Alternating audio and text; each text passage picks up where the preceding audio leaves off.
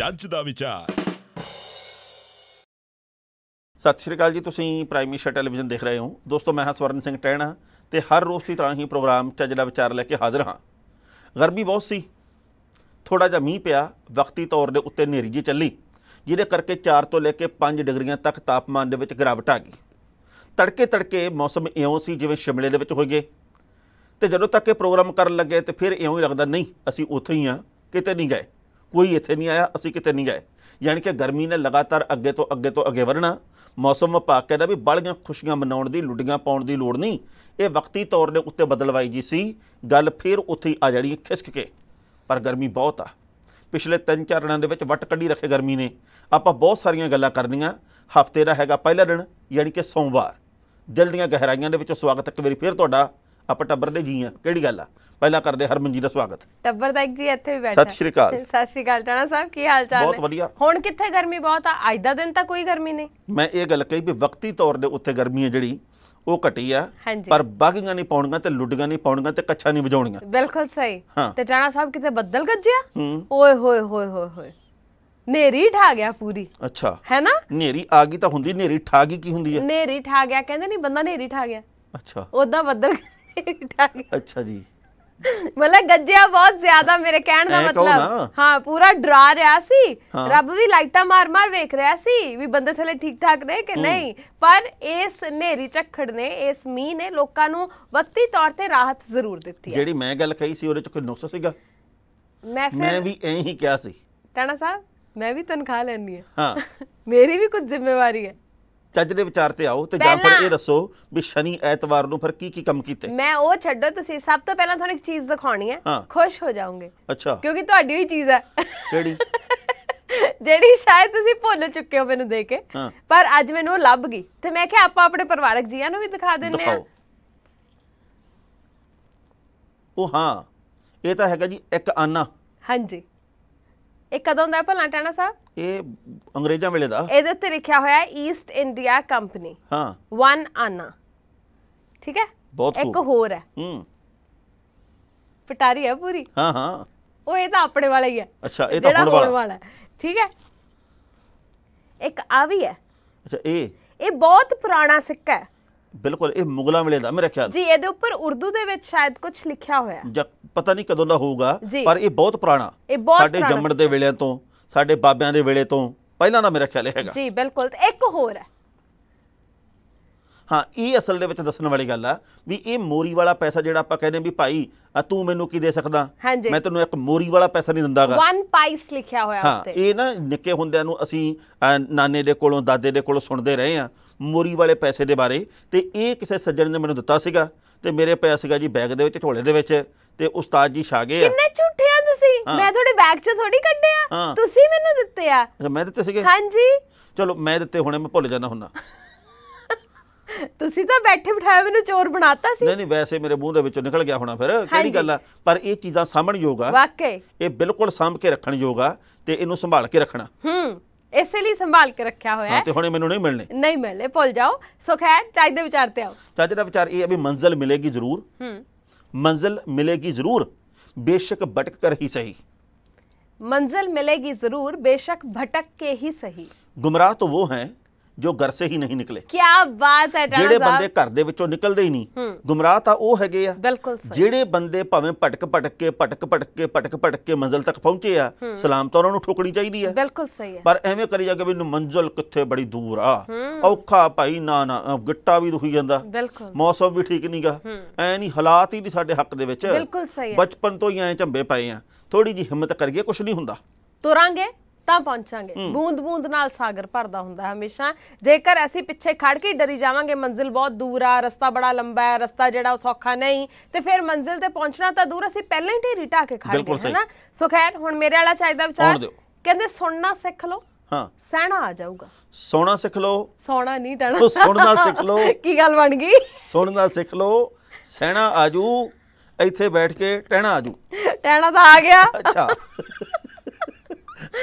ਸੁਣਨਾ ਸਿੱਖ ਲਓ ਹਾਂ। ਸਹਿਣਾ ਆ ਜਾਓ। ਸਹਿਣਾ ਆ ਗਿਆ ਤਾਂ ਰਹਿਣਾ ਆ ਜਾਓ। ਬਹੁਤ ਖੂਬ ਬਹੁਤ ਕਮਾਲ ਦੀ ਗੱਲ ਆ। ਜੀ। ਵੀ ਜੇ ਸਹਿਣਾ ਆ ਗਿਆ ਫਿਰ ਰਹਿਣਾ ਆਜੂ ਜੀ। ਤੇ ਜੇ ਰਹਿਣਾ ਆ ਗਿਆ ਤੇ ਫਿਰ ਜ਼ਿੰਦਗੀ ਦੇ ਵਿੱਚ ਗਹਿਣਾ ਆਜੂ ਹਾਂ ਤੇ ਜੇ ਗਹਿਣਾ ਆ ਗਿਆ ਫੇਰ ਟਹਿਣਾ ਆ ਜੂ ਟਹਿਣਾ ਆਜੂ ਉਹ ਤਾਂ ਤੁਹਾਨੂੰ ਮੇਰਾ ਚਾਹੀਦਾ ਵਿਚਾਰ ਸਮਝ ਨਹੀਂ ਆਇਆ ਨਾ। ਨਹੀਂ ਆਇਆ। ਟਹਿਣਾ ਸਾਹਿਬ ਦੇਖੋ ਹਾਂ। ਬਹੁਤ ਸਾਰੇ ਲੋਕ ਇਹੋ ਜਿਹੇ ਹੁੰਦੇ ਨੇ ਜਿਹੜੇ ਸਿਰਫ ਬੋਲਣਾ ਜਾਣਦੇ ਨੇ ਸੁਣਨ 'ਚ ਵਿਸ਼ਵਾਸ ਨਹੀਂ ਰੱਖਦੇ। ਕਹਿੰਦੇ ਜਿਹੜਾ ਬੰਦਾ ਚੰਗਾ ਬੁਲਾਰਾ ਹੁੰਦਾ ਨਾ ਉਹ ਚੰਗਾ ਸੁਣਨ ਵਾਲਾ ਵੀ ਹੋਣਾ ਚਾਹੀਦਾ ਉਹਨੂੰ ਸੁਣਨ ਦੀ ਆਦਤ ਵੀ ਹੋਣੀ ਚਾਹੀਦੀ ਹੈ। ਸੋ ਸੁਣਨਾ ਸਿੱਖ ਲਓ ਤਾਂ ਤੁਹਾਡੇ ਅੰਦਰ ਸਹਿਣ ਸ਼ਕਤੀ ਆਪਣੇ ਆਪ ਆ ਜਾਊਗੀ ਕਿਉਂਕਿ ਤਰ੍ਹਾਂ ਤਰ੍ਹਾਂ ਦੀਆਂ ਗੱਲਾਂ ਜੇ ਤੁਸੀਂ ਸੁਣ- ਤੁਸੀਂ ਸੁਣੋਗੇ ਤਾਂ ਸਹਿਣ ਸ਼ਕਤੀ ਵੀ ਵਧੂਗੀ। ਜੇ ਸਹਿਣਾ ਸਿੱਖ ਲਓਗੇ ਤਾਂ ਮਤਲਬ ਰਹਿਣਾ ਆ ਗਿਆ ਜ਼ਿੰਦਗੀ ਜਿਉਣੀ ਆ ਗਈ ਤੁਹਾਨੂੰ। ਬਿਲਕੁਲ ਜੀ ਬਿਲਕੁਲ ਗੱਲ ਤੁਹਾਡੀ ਸਹੀ ਆ। ਸਮਝ ਤੁਹਾਨੂੰ ਹੱਲੇ ਵੀ ਲੱਗੀ? ਚਲੋ ਕੋਈ ਗੱਲ ਆ ਇਹ। ਇਹਨਾਂ ਗੱਲਾਂ ਨੂੰ ਚੇਤੇ ਦੇ ਵਿੱਚ ਵਸਾ ਕੇ ਰੱਖੋ ਮੇਰੇ ਵੀਰੋ। ਮੇਰੀ ਕੋ ਭੈਣੋ ਕਮਾਲ ਹੋ ਗਈ ਆ। ਵਕਫਾ ਲੈ ਲਓ। ਕਿਹੜੀ ਗੱਲ ਸੀ ਵੈਸੇ? ਬਹੁਤ ਅੱਛੇ। ਜੱਜ ਦਾ ਵਿਚਾਰ। ਹਰਬਜੀਤ ਸ਼ਨੀ ਐਤਵਾਰ ਦੀ ਛੁੱਟੀ ਬਣਾ ਕੇ ਆਏ ਹੋ। ਕੀਤਾ ਕੀ ਕੀ ਆ? ਟੈਣਾ ਛੁੱਟੀ ਕਿਵੇਂ ਮਨਾਈ ਆ? ਕੋਈ ਛੁੱਟੀ ਨਹੀਂ ਮਨਾਈ ਗਈ। ਇਹ ਸ਼ਨੀ ਐਤਵਾਰ ਦੀ ਵੀ ਛੁੱਟੀ ਛੁੱਟੀ ਨਹੀਂ ਸੀ? ਕਿਉਂਕਿ ਸ਼ਨੀਵਾਰ ਤਾਂ ਮੈਂ ਦਫ਼ਤਰ ਸੀ। ਅੱਛਾ। ਹਾਂਜੀ ਤੁਸੀਂ ਵੀ ਦਫ਼ਤਰ ਹੀ ਸੀ। ਅੱਛਾ ਐ ਨਾ ਕਹੋ ਕਿ ਮੈਂ ਜਿਵੇਂ ਵੀ ਪਤਾ ਨਹੀਂ ਕੁਝ ਅੱਛਾ ਮੈਂ ਵਾਲੀ ਗੱਲ ਮੈਂ ਕਹਿਤੀ। ਤੁਸੀਂ ਵੀ ਦਫ਼ਤਰ ਹੀ ਸੀ। ਮੈਂ ਵੀ ਇੱਥੇ ਸੀ। ਹਾਂ ਤੁਸੀਂ ਵੀ ਇੱਥੇ ਮੈਂ। ਇੱਥੇ ਹੀ ਸੀ। ਆਪਾਂ ਕੰਮ ਕਰ ਰਹੇ ਸੀ। ਹਾਂ ਅਸੀਂ ਐਤਵਾਰ ਨਹੀਂ ਆਏ ਬਸ।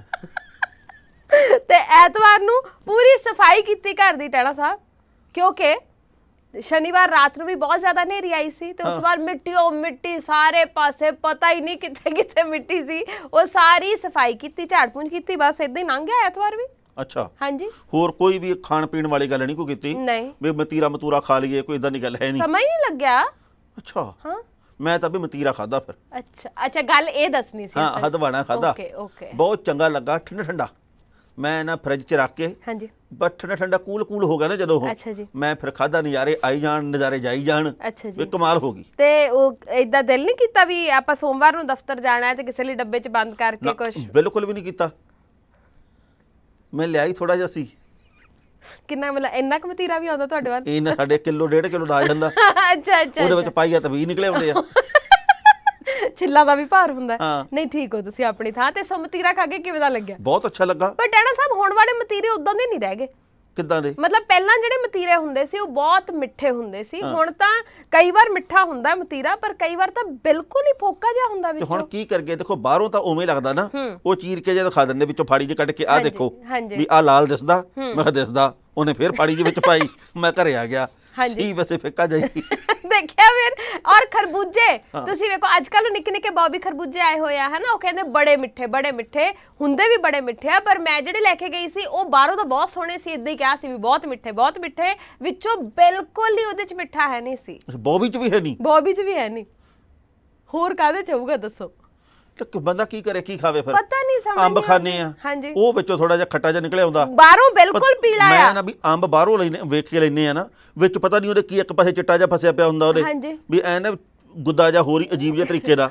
ਮੈਨੂੰ ਸਮਝ ਨਹੀਂ ਆਉਂਦੀ ਵੀ ਭਾਈ ਫਲਾਂ ਨੂੰ ਵੀ ਕੀ ਹੋ ਗਿਆ। ਪਤਾ ਨਹੀਂ ਕੀ ਹੋ ਮੈਨੂੰ ਇਹ ਲੱਗਦਾ ਵੀ ਗਰਮੀ ਦੀ ਮਾਰ ਕਰਕੇ ਨਾ ਤੇ ਫਲ ਸਬਜ਼ੀਆਂ ਬੜੇ ਪ੍ਰਭਾਵਿਤ ਹੋਏ ਆ। ਤੁਸੀਂ ਗਲਤ ਕਹਿ ਰਹੇ ਹੋ। ਕਿਉਂ? ਇਹ ਲਾਲਚ ਦੀ ਮਾਰ ਵੀ ਹੋ ਸਕਦੀ ਹੈ। ਹਾਂ ਬਿਲਕੁਲ ਸਹੀ ਆ। ਕਿਉਂਕਿ ਅਸੀਂ ਸਮਾਂ ਰਹਿਣ ਤੋਂ ਪਹਿਲਾਂ ਹੀ ਜਦ ਫਲ ਜਿਹੜੇ ਕੱਚੇ ਹੀ ਲਾ ਲੈਣੇ ਨੇ ਵੀ ਇਹਨਾਂ ਨੂੰ ਫਟਾਫਟ ਦਵਾਈਆਂ ਦੇ ਨਾਲ ਜਾਂ ਹੋਰ ਤਰੀਕਿਆਂ ਨਾਲ ਪਕਾ ਕੇ ਤਾਂ ਵੇਚ ਦਈਏ ਤੇ ਲਾਲਚ ਦੀ ਮਾਰ ਦਾ ਕਰਕੇ ਵੀ ਫਲਾਂ ਦਾ ਇਹ ਹਾਲ ਹੋ ਤੇ ਸਕਦਾ ਮੇਰੀ ਤਾਂ ਇੱਕ ਬੇਨਤੀ ਹੈ ਕਿਸਾਨਾਂ ਨੂੰ ਵੈਸੇ ਤਾਂ ਕੋਈ ਇਹ ਵੀ ਕੋ ਗੱਲ ਹੈ ਇਹ ਬਾਲੇ ਸਿਆਣੇ ਆ ਗਏ। ਆਹ ਗੱਲ ਕਹਿਣ ਲੱਗੇ ਆਪਾਂ ਸਕਿੰਟ ਲਾਉਨੇ ਹੁੰਨੇ ਆ। ਵੈਸੇ ਮੇਰੀ ਬੇਨਤੀ ਇਹ ਆ ਵੀ ਜਿਹੜੇ ਕਿਸਾਨ ਨੇ ਜਿਹੜੇ ਖੇਤੀਬਾੜੀ ਕਰਦੇ ਆ ਉਹ ਘੱਟੋ ਘੱਟ ਆਪਦੇ ਜੋਗੀ ਤਾਂ ਸਬਜ਼ੀ ਪੈਦਾ ਕਰ ਲੈਣ ਨਾ ਕਿਸੇ ਹੋਰ ਲਈ ਨਾ ਸਹੀ ਆਪਦੀ ਘਰ ਦੀ ਸਬਜ਼ੀ ਹੋਵੇ ਉਹਦੇ ਵਰਗੀ ਰੀਸ ਕੋਈ ਨਹੀਂ। ਪਰ ਬੇਨਤੀ ਇਹ ਵੀ ਹੈ ਵੀ ਜਿਹੜੇ ਆਲੇ ਦੁਆਲੇ ਦੇ ਹੋਰ ਹੁੰਦੇ ਆ ਜਿਹੜੇ ਨਿਗਾਹ ਰੱਖਦੇ ਵੀ ਇਹਨਾਂ ਦੀ ਤੋਰੀ ਵਧੀ ਤਾਂ ਆਪਾਂ ਛਾ ਜਾਣਾ। ਇਹਨਾਂ ਦਾ ਕੱਦੂ ਵੱਡਾ ਹੋਇਆ ਤੇ ਆਪਾਂ ਛਾ ਜਾਣਾ। ਉਹਨਾਂ ਨੂੰ ਬੇਨਤੀ ਹੈ ਵੀ ਉਹ ਚੋਰੀ ਕਰਨ ਤੋਂ ਬਾਅਦ ਆਇਆ ਕਰਨ। ਉਹ ਵੀ ਆਪਦੇ ਖੇਤ 'ਚ ਬੀਜਣ। ਜੀ। ਤੀਜਾ ਵੀ ਆਪਦੇ ਖੇਤ 'ਚ ਲਾਵੇ ਸਬਜ਼ੀ ਚੌਥਾ ਵੀ ਲਾਵੇ। ਅੱਜ ਕੱਲ ਤਾਂ ਖੇਤ ਜਿਹੜੇ ਆ ਚਲੋ ਰਹਿ ਹੀ ਕਿੰਨੇ ਕ ਗਿਆ ਲੋਕਾਂ ਦੇ ਕੋਲ ਆਪਾਂ ਜਾਣਦੇ ਆ ਅੱਜ ਕੱਲ ਤਾਂ ਲੋਕੀ ਆਪਣੀਆਂ ਛੱਤਾਂ ਤੇ ਗਮਲਿਆਂ ਦੇ ਵਿੱਚ ਵੀ ਸਬਜ਼ੀਆਂ ਲਾਉਣ ਲੱਗੇ ਕਿਉਂਕਿ ਜਿਹੜੀਆਂ ਵੇਲਾਂ ਨੇ ਉਹਨਾਂ ਨੂੰ ਬਹੁਤੀ ਕੋਈ ਥਾਂ ਨਹੀਂ ਚਾਹੀਦੀ ਹੈਗੀ ਜਾਂ ਹੋਰ ਕਈ ਸਾਰੇ ਇਹੋ ਜਿਹੇ ਬੂਟੇ ਹੈਗੇ ਨੇ ਜਿਨ੍ਹਾਂ ਦੀਆਂ ਜੜਾਂ ਬਹੁਤੀਆਂ ਫੈਲਦੀਆਂ ਨਹੀਂ ਜਿਹੜੇ ਤੁਸੀਂ ਗਮਲਿਆਂ ਦੇ ਵਿੱਚ ਵੀ ਲਗਾ ਸਕਦੇ ਹੋ ਤਾਂ ਉਹ ਲਗਾਓ ਤੁਸੀਂ ਆਪਣੇ ਘਰੇ ਆਪਣੇ ਜੋਗੀ ਸਬਜ਼ੀ ਬੀਜ ਲਓ। ਇਹ ਨਾ 2 2.5 ਸਾਲ ਪੁਰਾਣੀ ਗੱਲ ਹੈ ਲੁਧਿਆਣੇ ਦੇ ਵਿੱਚ ਮੈਨੂੰ ਇੱਕ ਸੈਮੀਨਾਰ ਤੇ ਜਾਣ ਦਾ ਮੌਕਾ ਮਿਲਿਆ। ਹਾਂਜੀ। ਉਹ ਸੀਗਾ ਕਿਸਾਨੀ ਨਾਲ ਸੰਬੰਧਿਤ ਸੈਮੀਨਾਰ। ਉਹਦੇ ਵਿੱਚ ਮੇਰੇ ਖਿਆਲ ਵੀ 2.5 300 ਲੋਕ ਆਏ ਸੀਗੇ। ਉਹਦੇ ਵਿੱਚੋਂ ਮੇਰੇ ਖਿਆਲ ਵੀ 1.5 200 ਕਿਸਾਨੀ ਨਾਲ ਸੰਬੰਧਿਤ ਵੀ ਹੋਣਗੇ। ਜਦੋਂ ਮੇਰੀ ਵਾਰੀ ਆਈ ਬੋਲਣ ਦੀ ਮੈਂ ਕਿਹਾ ਜੀ ਆਪਾਂ ਸਾਰੇ ਕਹਿੰਦੇ ਵੀ ਅਸੀਂ ਕਿਸਾਨ ਆ। ਹੂੰ। ਸਾਡੇ ਵਿੱਚੋਂ ਬਹੁਤੇ ਇੱਥੇ ਖੇਤਾਂ ਦੇ ਵਿੱਚ ਕੰਮ ਕਰਨ ਵਾਲੇ ਵੀ ਆ ਜਿਨ੍ਹਾਂ ਦੇ ਆਪਣੇ ਖੇਤ ਆ। ਇਹ ਦੱਸੋ ਵੀ ਜਿਨ੍ਹਾਂ ਦੇ ਕੋਲੇ ਖੇਤ ਆ ਭਾਵੇਂ 6 ਕਨਾਲ ਜ਼ਮੀਨ ਆ ਭਾਵੇਂ 60 ਕਿੱਲੇ ਆ ਭਾਵੇਂ 6 ਕਿੱਲੇ ਆ ਉਹਦੇ ਚੋਂ ਕਿੰਨੇ ਜਾਣੇ ਆਪਦੇ ਜੋਗੀ ਘਰ ਜੋਗੀ ਸਬਜ਼ੀ ਪੈਦਾ ਕਰਦੇ ਆ? ਯਕੀਨ ਮੰਨਿਓ ਦੋ ਤਿੰਨ ਜਣਿਆਂ ਨੇ ਹੱਥ ਖੜੇ ਕੀਤੇ। ਤੇ ਮੈਂ ਆਖਿਆ ਵੀ ਯਾਰ ਜੇ ਅਸੀਂ ਆਪਦੇ ਜੋਗਾ ਆਪੇ ਹੀ ਨਹੀਂ ਕੰਮ ਕਰਦੇ ਤੇ ਯਾਰ ਫਿਰ ਤਾਂ ਮਾੜੀ ਗੱਲ ਹੈ ਜਦੋਂ ਰਹਿਣਾ ਹੀ ਅਸੀਂ ਖੇਤ ਦੇ ਵਿੱਚ ਆ ਤੇ ਫਿਰ ਉੱਥੇ ਆਪਦਾ ਜੋਗਾ ਕੰਮ ਤਾਂ ਕਰ ਲਈਏ। ਕਮ ਸੇ ਕਮ ਕੱਦੂ ਆ ਜਿਹੜਾ ਤੋਰੀ ਆ ਲੌਕੀ ਆ ਲੱਲਾ ਪੱਬਾ ਹੋਰ ਆ ਜਿਹੜਾ ਟੀਕੇ ਲਾ ਲਾ ਕੇ ਵੱਡਾ ਕਰਦੇ ਆ ਤੇ ਉਹ ਤਾਂ ਕਮ ਸੇ ਕਮ ਬਚਾ ਹੋ ਜੇ ਨਾ ਆਪਣਾ। ਬਿਲਕੁਲ ਸਹੀ ਪਰ ਅਸੀਂ ਸੋਚਦੇ ਨਹੀਂ ਨਾ ਟਾਣਾ ਸਾਹਿਬ ਪਤਾ ਨਹੀਂ ਕਿਉਂ ਅਸੀਂ ਬਹੁਤ ਮਿਹਨਤਕਸ਼ ਪੰਜਾਬੀ ਸੀ ਅਸੀਂ ਸਾਡੇ ਬਾਰੇ ਚ ਹਮੇਸ਼ਾ ਤੋਂ ਲੋਕ ਇਹੀ ਕਹਿੰਦੇ ਵੀ ਅਸੀਂ ਬਹੁਤ ਮਿਹਨਤੀ ਲੋਕ ਆ ਅਸੀਂ ਬਹੁਤ ਜ਼ਿਆਦਾ ਕਹਿ ਲਓ ਵੀ ਠਰਮੇ ਦੇ ਨਾਲ ਜੀਣ ਵਾਲੇ ਲੋਕ ਅਸੀਂ ਬਹੁਤ ਜ਼ਿਆਦਾ ਮਿਹਨਤ ਕਰਕੇ ਤੇ ਫਿਰ ਉਸ ਰੋਟੀ ਨੂੰ ਖਾਣ ਦੇ ਵਿੱਚ ਵਿਸ਼ਵਾਸ ਰੱਖਦੇ ਪਰ ਅਸੀਂ ਹੁਣ ਮਿਹਨਤ ਤੋਂ ਭੱਜਣ ਲੱਗ ਗਏ ਆ ਸਾਡਾ ਦਿਲ ਕਰਦਾ ਵੀ ਛੱਡ ਪਰਾਂ ਜਿੰਨੀ ਇੱਥੇ ਮਿਹਨਤ ਕਰਨੀ ਆ ਬਾਜ਼ਾਰੋਂ ਲਿਆਵਾਂਗੇ। ਤੇ ਉਸੇ ਚੱਕਰ ਦੇ ਵਿੱਚ ਅਸੀਂ ਜ਼ਹਿਰਾਂ ਖਾਈ ਜਾ ਰਹੇ ਆ ਸਾਨੂੰ ਪਤਾ ਹੀ ਨਹੀਂ ਲੱਗ ਰਿਹਾ ਵੀ ਅਸੀਂ ਕਰੀ ਉਹ ਕੀ ਜਾਂਦੇ ਹਾਂ। ਕਿਸਾਨ ਵੀ ਕਾਹਦਾ? ਜਿਹੜਾ ਲਫਾਫੇ ਦੇ ਵਿੱਚ ਪਾ ਕੇ ਰੇੜੀ ਤੋਂ ਜਾਂ ਮੰਡੀ ਦੇ ਵਿੱਚੋਂ ਸਬਜ਼ੀ ਲੈ ਕੇ ਆਉਂਦਾ। ਹਾਂ। ਹੋਰ ਤਾਂ ਚਲੋ ਅਸੀਂ ਚੀਜ਼ਾਂ ਮੰਨੀਆਂ ਮਜਬੂਰੀ ਹੈ ਸਾਡੀ। ਜੀ। ਪਰ ਜੋ ਕੁਝ ਅਸੀਂ ਕਰ ਸਕਦੇ ਉਹ ਤਾਂ ਜ਼ਰੂਰ ਕਰਨਾ ਚਾਹੀਦਾ। ਬਿਲਕੁਲ ਸਹੀ ਹੈ ਜੱਜ ਦਾ ਵਿਚਾਰ। ਹਰਮਨ ਜੀ ਨਵਜੋਤ ਸਿੰਘ ਸਿੱਧੂ ਜੇਲ੍ਹ ਦੇ ਵਿੱਚੋਂ ਸਵੇਰ ਦੇ ਵੇਲੇ ਬਾਹਰ ਆ ਗਏ। ਹਾਂਜੀ? ਬਿਲਕੁਲ। ਨਵਜੋਤ ਸਿੰਘ ਸਿੱਧੂ ਜੇਲ੍ਹ ਦੇ ਵਿੱਚੋਂ ਸਵੇਰ ਦੇ ਵੇਲੇ ਅੱਜ ਬਾਹਰ ਆ ਗਏ। ਕਿਵੇਂ? ਪੁਲਿਸ ਦੇ ਨਾਲ ਉਹ ਬਾਹਰ ਆਏ ਆ। ਬਹੁਤ ਵੱਡੀ ਗਿਣਤੀ ਦੇ ਵਿੱਚ ਸੁਰੱਖਿਆ ਕਰਮਚਾਰੀ ਸੀ ਤੇ ਪਟਿਆਲੇ ਦੇ ਰਜਿੰਦਰਾ ਹਸਪਤਾਲ ਦੇ ਵਿੱਚ ਉਹਨਾਂ ਨੂੰ ਲੈ ਕੇ ਆਏ ਆ। ਅੱਛਾ ਜੀ। ਮੈਡੀਕਲ ਚੈੱਕਅਪ ਉਹਨਾਂ ਦਾ ਹੋਇਆ ਕਿਉਂਕਿ ਉਹ ਵਾਰ-ਵਾਰ ਇਹ ਗੱਲ ਕਹਿ ਰਹੇ ਆ ਉਹਨਾਂ ਦੇ ਡਾਕਟਰ ਵੀ ਕਹਿ ਰਹੇ ਆ ਉਹਨਾਂ ਦੇ ਵਕੀਲ ਸਾਹਿਬਾਨ ਵੀ ਕਹਿ ਰਹੇ ਆ ਵੀ ਨਵਜੋਤ ਸਿੰਘ ਸਿੱਧੂ ਨੂੰ ਜਿਗਰ ਦੀ ਸਮੱਸਿਆ। ਉਹਨਾਂ ਨੂੰ ਕੜਕ ਦੀ ਰੋਟੀ ਤੋਂ ਅਲਰਜੀ ਹੈਗੀ ਆ। ਉਹਨਾਂ ਦੇ ਲਈ ਜੇਲ੍ਹ ਦੇ ਵਿੱਚ ਫਲ ਸਲਾਦ ਤੇ ਜੂਸ ਦਾ ਪ੍ਰਬੰਧ ਕੀਤਾ ਜਾਵੇ। ਜੇਲ੍ਹ ਦੇ ਵਿੱਚ ਉਹ ਦਾਲ ਰੋਟੀ ਨਹੀਂ ਖਾ ਰਹੇ। ਇਸ ਕਰਕੇ ਉਹਨਾਂ ਦੀ ਸਿਹਤ ਦੇ ਵਿੱਚ ਵਿਗਾੜ ਨਾ ਪੈਦਾ ਹੋਵੇ। ਇਸ ਕਰਕੇ ਬਾਹਰ ਲੈ ਕੇ ਆਂਦਾ। ਉਹਨਾਂ ਦਾ ਮੈਡੀਕਲ ਚੈੱਕਅਪ ਹੋਇਆ ਤੇ ਮੈਡੀਕਲ ਚੈੱਕਅਪ ਦੇ ਵਿੱਚ ਹੁਣ ਆਉਣਾ ਸਾਹਮਣੇ ਵੀ ਭਾਈ ਰਿਪੋਰਟ ਕੀ ਆ ਕਿਉਂਕਿ ਜੋ ਰਿਪੋਰਟ ਪੇਸ਼ ਕੀਤੀ ਗਈ ਅਦਾਲਤ ਦੇ ਵਿੱਚ ਵੀ ਭਾਈ ਵਿਸ਼ੇਸ਼ ਡਾਈਟ ਦੀ ਲੋੜ ਆ। ਵਿਸ਼ੇਸ਼ ਖਾਣ ਪੀਣ ਦੀ ਲੋੜ ਆ। ਉਹਦੇ ਨਾਲ ਮਿਲਾਨ ਕਰਕੇ ਦੇਖਣਾ ਵੀ ਭਾਈ ਸਮੱਸਿਆ ਕਿੱਡੀ ਕਾ ਕਿੰਨੀ ਕਾ ਤੇ ਕਿਵੇਂ ਆ। ਦੇਖੋ ਜੇ ਤਾਂ ਵਾਕਈ ਸਿਹਤ ਦੀ ਕੋਈ ਬਹੁਤ ਵੱਡੀ ਸਮੱਸਿਆ ਹੈ ਕਿ ਬੰਦਾ ਜਿਹੜਾ ਆ ਉਹਨੂੰ ਕੋਈ ਵੀ ਨੁਕਸਾਨ ਹੋ ਸਕਦਾ ਕੁਝ ਵੀ ਖਾਣ ਦੇ ਨਾਲ ਤੇ ਫਿਰ ਤਾਂ ਜ਼ਰੂਰ ਇਹਦੇ ਬਾਰੇ ਚ ਸੋਚਣਾ ਚਾਹੀਦਾ ਹੈ ਨਾ ਪਰ ਜੇ ਇਦਾਂ ਦਾ ਕੁਝ ਨਹੀਂ ਆ ਤੇ ਫਿਰ ਸ਼ਾਇਦ ਨਖਰੇ ਵੀ ਨਹੀਂ ਹੋਣੇ ਚਾਹੀਦੇ। ਇਹ ਤਾਂ ਹੁਣ ਜਦੋਂ ਰਿਪੋਰਟ ਆ ਜੂਗੀ ਬਾਹਰ ਮੈਡੀਕਲ ਤੋਂ ਬਾਅਦ ਜਦੋਂ ਸਾਰੇ ਗੱਲ ਖੁੱਲ ਜੂਗੀ ਉਦੋਂ ਹੀ ਪਤਾ ਲੱਗੂਗਾ ਕਿ ਆਖਰਕਾਰ ਸੱਚਾਈ ਹੈ ਕੀ। ਦੂਜੀ ਮਹੱਤਵਪੂਰਨ ਗੱਲ ਇਹ ਹੈ ਕਿ ਨਵਜੋਤ ਸਿੰਘ ਸਿੱਧੂ ਘੱਟੋ ਘੱਟ ਪਹਿਲੇ 4 ਮਹੀਨੇ ਜੇਲ੍ਹ ਦੇ ਵਿੱਚ ਹੀ ਰਹਿਣਗੇ।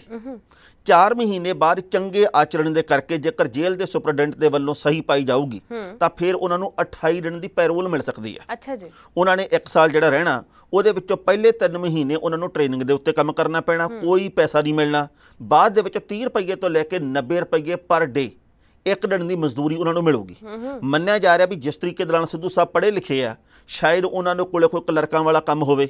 ਸ਼ਾਇਦ ਉਹਨਾਂ ਨੂੰ ਕੋਈ ਪੜ੍ਹਿਆ ਲਿਖਿਆ ਵਾਲਾ ਕੰਮ ਇਹੋ ਜਿਹਾ ਸੌਂਪ ਦਿੱਤਾ ਜਾਵੇ ਜਿਹਦੇ ਵਿੱਚ ਸਰੀਰਕ ਮੁਸ਼ਕਲ ਦੀ ਘਾਟ ਹੋਵੇ ਪਰ ਜਿਹੜਾ ਜ਼ਿਹਨੀ ਤੌਰ ਦੇ ਉੱਤੇ ਜਾਣੀ ਕਿ ਦਿਮਾਗੀ ਤੌਰ ਦੇ ਉੱਤੇ ਬੰਦੇ ਦੇ ਕੰਮ ਕਰਨ ਵਾਲਾ ਉਹ ਉਹਨਾਂ ਨੂੰ ਸੌਂਪ ਦਿੱਤਾ ਜਾਵੇ ਜੀ। ਪਰ ਗੱਲ ਇਹ ਹੈ ਟਾਣਾ ਸਾਹਿਬ ਕਿ ਮਾਹਰ ਤਾਂ ਇਹ ਵੀ ਕਹਿੰਦੇ ਨੇ ਕਿ ਆ ਜਿਹੜਾ ਇੱਕ ਸਾਲ ਹੈ ਆ ਜਿਹੜੀ ਕੈਦ ਉਹਨਾਂ ਨੂੰ ਬੋਲੀ ਗਈ ਹੈ ਆ ਜੋ ਕੁਝ ਵੀ ਵਾਪਰਿਆ ਹੈ ਇਹ ਸਭ ਕੁਝ ਦਾ ਉਹਨਾਂ ਦੇ ਪੋਲਿਟੀਕਲ ਕੈਰੀਅਰ ਦੇ ਉੱਪਰ ਉਹਨਾਂ ਦੇ ਰਾਜਨੀਤਿਕ ਸਫ਼ਰ ਦੇ ਉੱਪਰ ਬਹੁਤ ਜ਼ਿਆਦਾ ਡੂੰਘਾ ਅਸਰ ਪਊਗਾ ਇਹ ਸਭ ਕੁਝ ਦਾ।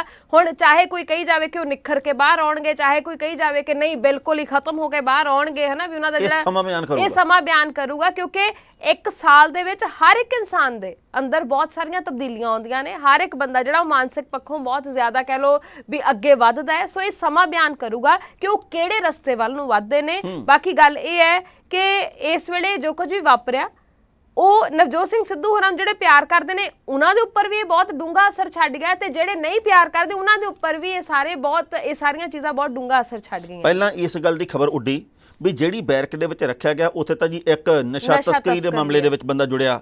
ਉਹਨੂੰ ਵੀ ਰੱਖਿਆ ਗਿਆ ਪਰ ਬਾਅਦ ਦੇ ਵਿੱਚ ਜੇਲ੍ਹ ਪ੍ਰਬੰਧਕਾਂ ਦੇ ਵੱਲੋਂ ਜੇਲ੍ਹ ਦੇ ਸੁਪਰਡੈਂਟ ਦੇ ਵੱਲੋਂ ਇਹਦਾ ਖੰਡਨ ਕੀਤਾ ਗਿਆ ਵੀ ਇਹ ਗੱਲ ਬਿਲਕੁਲ ਝੂਠੀ ਹੈ ਤੇ ਮੀਡੀਆ ਇਹੋ ਜੀਆਂ ਗੱਲਾਂ ਨਾ ਕਰੇ।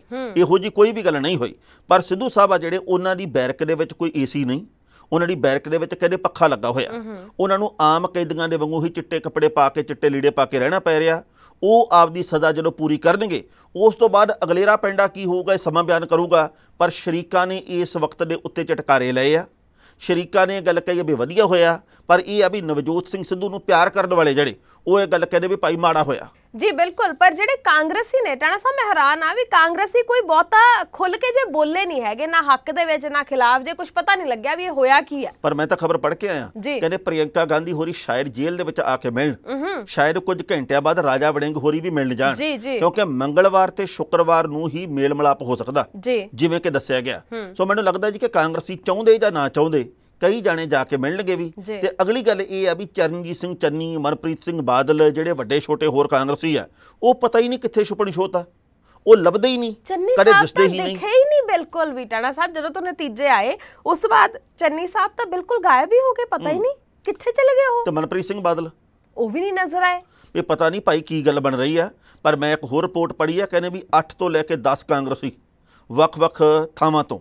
ਵੱਡੇ ਚਿਹਰੇ ਉਹ ਵੀ ਕਈ ਵਾਰ ਹੋ ਸਕਦਾ ਵੀ ਪਲਟੀ ਮਾਰਨ ਬਾਰੇ ਸੋਚ ਲੈਣ ਹੋ। ਸਕਦਾ ਵੀ ਉਰੇ ਪਰੇ ਨੂੰ ਹੋ ਜਾਣ ਪਰ ਇਹ ਵਕਤ ਦੱਸੂਗਾ ਵੀ ਸੱਚੀ ਮੁੱਚੀ ਇਹ ਗੱਲ ਕੀ ਬਣਦੀ ਤੇ ਕੀ ਨਹੀਂ। ਕਿਤੇ ਐ ਨਾ ਹੋਵੇ ਵੀ ਕਾਂਗਰਸ ਦੇ ਪੱਲੇ ਕੱਲੇ ਚਿੰਤਨ ਸ਼ਿਵਰ ਹੀ ਰਹਿ ਜਾਣ ਤੇ ਚਿੰਤਾ ਕਰਨ ਹੀ ਨਾ ਵੀ ਹੋਈ ਕੀ ਜਾਂਦਾ। ਸਹੀ ਗੱਲ ਆ। ਜੱਜ ਦਾ ਵਿਚਾਰ। ਹਰਮਨ ਜੀ ਇੱਕ ਨਾ ਬੜੀ ਦੁਖਦਾਈ ਖਬਰ ਆ ਜੀ। ਜਿਹੜੀ ਕਿ ਮੈਂ ਤੁਹਾਡੇ ਨਾਲ ਬੈਠਾ ਹੋਣ ਕਰਕੇ ਸੰਕੋਚ ਕੇ ਸਾਂਝੀ ਕਰ ਰਿਹਾ। ਸ਼ਬਦਾਂ ਦੀ ਮਰਿਆਦਾ ਦਾ ਪਾਲਣ ਕਰਕੇ ਇਹ ਸਾਂਝੀ ਕਰ ਰਿਹਾ। ਹੁਣ ਤੱਕ ਅਸੀਂ ਮੁੰਡੇ ਕੁੜੀਆਂ ਨੂੰ ਦੇਖਦੇ ਸੀ ਵੀ ਉਹ ਨਾੜਾਂ ਦੇ ਵਿੱਚ ਟੀਕੇ ਲਾਉਂਦੇ ਆ। ਕਦੇ ਕਿਸੇ ਸ਼ਮਸ਼ਾਨ ਘਾਟ ਦੇ ਵਿੱਚ ਲਾਉਂਦੇ ਆ ਕਦੇ ਕਿਸੇ ਖੰਡਰ ਬਣੀ ਇਮਾਰਤ ਦੇ ਵਿੱਚ ਲਾਉਂਦੇ ਆ ਕਦੇ ਕਿਸੇ ਸੂਏ ਤੇ ਬੈਠ ਕੇ ਲਾ ਲੈਂਦੇ ਆ ਕਦੇ ਕਿਸੇ ਖੇਤ 'ਚ ਬੈਠ ਕੇ ਲਾ ਲੈਂਦੇ ਆ ਕਦੇ ਕਿਸੇ ਹੋਰ ਉਜਾੜ ਵਾਲੀ ਥਾਂ ਦੇ ਉੱਤੇ ਲਾ ਲੈਂਦੇ ਆ। ਤੇ ਜਦੋਂ ਇਹ ਖਬਰਾਂ ਆਉਂਦੀਆਂ ਕਿ ਮਾਵਾਂ ਦੇ ਪੁੱਤ ਜਦੋਂ ਮੌਤ ਦੀ ਬੁੱਕਲ 'ਚ ਚਲੇ ਜਾਂਦੇ ਓਵਰਡੋਜ਼ ਦੇ ਕਰਕੇ ਤੇ ਸਰਿੰਜਾਂ ਨਾਲ ਲਮਕਦੀਆਂ ਇੱਥੇ ਉਦੋਂ ਦੁੱਖ ਹੁੰਦਾ ਵੀ ਯਾਰ ਪੰਜਾਬ ਤਾਂ ਐ ਵਿੰਨਿਆ ਪਿਆ ਦੇਖੋ ਨਾੜਾਂ ਵੀ ਵਿੰਨੀਆਂ ਪਈਆਂ। ਬਿਲਕੁਲ। ਵਾਲ-ਵਾਲ ਕਰਜ਼ੇ ਦੇ ਵਿੱਚ ਤਾਂ ਵਿੰਨਿਆ ਪਿਆ। ਜਵਾਨੀ ਦੀਆਂ ਨਾੜਾਂ ਵਿੰਨੀਆਂ ਪਈਆਂ ਨਾੜਾਂ ਦਿਸਦੀਆਂ ਨਹੀਂ ਹੁਣ। ਜੀ। ਹੁਣ ਮੈਂ ਇੱਕ ਡਾਕਟਰ ਦੇ ਨਾਲ ਗੱਲ ਕੀਤੀ ਉਹ ਮੈਨੂੰ ਕਹਿੰਦਾ ਬਾਈ ਜੀ ਸਥਿਤੀ ਇਹ ਬਣੀ ਪਈ ਆ ਵੀ ਜਿਹੜੇ ਨਸ਼ੇ ਦੇ ਆਦੀ ਕਈ ਨੌਜਵਾਨਾਂ ਉਹਨਾਂ ਦੇ ਨਾੜ ਨਹੀਂ ਲੱਭਦੀ ਇੱਥੇ ਵੀ ਟੀਕਾ ਲਾਈਏ ਕਿੱਥੇ? ਉਹ ਸਰੀਰ ਦੇ ਹੋਰ ਅੰਗਾਂ ਦੇ ਉੱਤੇ ਨਾੜਾਂ ਲੱਭ ਲੱਭ ਕੇ ਟੀਕੇ ਲਾ ਰਹੇ ਆ। ਤੇ ਮੈਨੂੰ ਬੜੇ ਦੁੱਖ ਦੇ ਨਾਲ ਇਹ ਗੱਲ ਕਹਿਣੀ ਪੈ ਰਹੀ ਆ। ਮੈਂ ਮਾਫੀ ਚਾਹੁੰਦਾ ਵੀ ਇਹ ਸ਼ਬਦ ਮੈਂ ਇੱਥੇ ਬੈਠ ਕੇ ਸਾਂਝੇ ਕਰ ਰਿਹਾ। ਬਠਿੰਡੇ ਦੇ ਵਿੱਚ ਇੱਕ ਵੀਡੀਓ ਵਾਇਰਲ ਹੋਈ ਆ।